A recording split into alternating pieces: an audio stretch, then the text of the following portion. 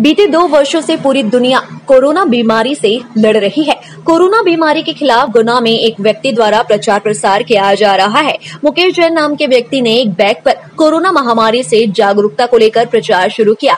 मुकेश जैन के बैग पर खुद की तस्वीर और कोरोना का स्लोगन लिखा हुआ है जिसके माध्यम से कोरोना से बचाव की जानकारी दी जाती है।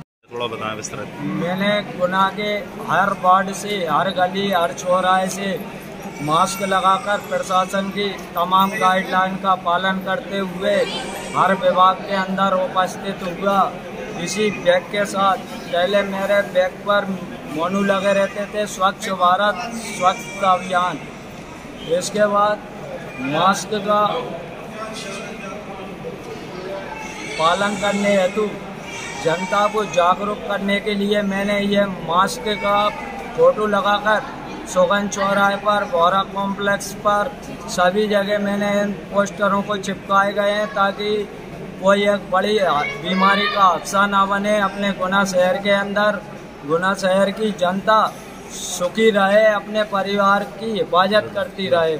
जहाँ लोग मास्क लगाने को मुसीबत समझते हैं, वहीं मुकेश जैन जैसे कोरोना वॉरियर समाज के लिए मिसाल है। कोरोना महामारी से सावधानी बरतने के लिए लोगों को खुद भी जागरूक होना पड़ेगा। पहली और दूसरी लहर ने पूरी दुनिया को अपनी चपेट में ले लिया, जिसके चलते जनहानि भी हुई। वहीं कोरोना की संभावित तीसरी लहर से खुद का बचाव करने के लिए मुकेश जैन प्रचार प्रसार में जुटे हैं। टाइम एट के लिए मध्य प्रदेश के गुना से विकास दीक्षित की रिपोर्ट।